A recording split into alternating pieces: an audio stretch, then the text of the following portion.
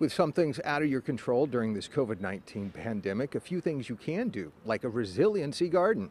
Since the COVID 19 pandemic began, Custom Foodscaping has been busy designing and installing food producing landscapes, or edible yards. And Matt Lebon is encouraging anyone stuck inside during this pandemic to populate their yard with a resiliency garden.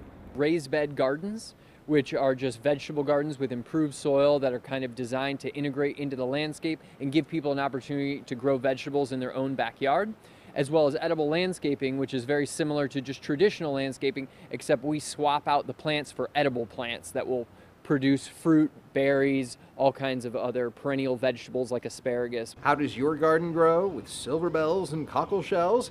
Or weeds and leftover Brussels sprouts that lasted through the winter, in my case?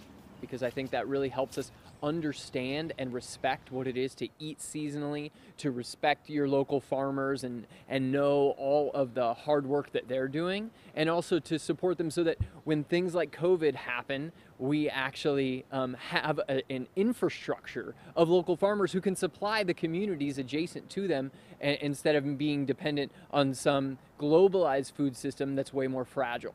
Similar in scope to the Victory Gardens of World War II, his mission is to help Missourians supplement their grocery store with gardens. And if I, dear viewer, can grow a garden, then so can you. But don't let the experimental Brussels sprouts overwinter.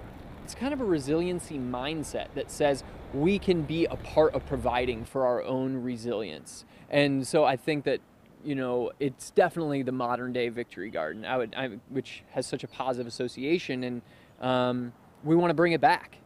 Our chief meteorologist will tell you we've probably seen the last of our freezes for now, and it's not too late to get started on your resiliency garden. In Webster Groves, Patrick Clark, Fox 2 News.